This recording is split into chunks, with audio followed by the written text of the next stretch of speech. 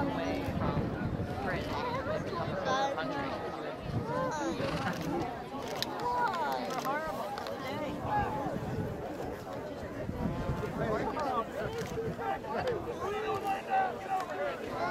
It's about the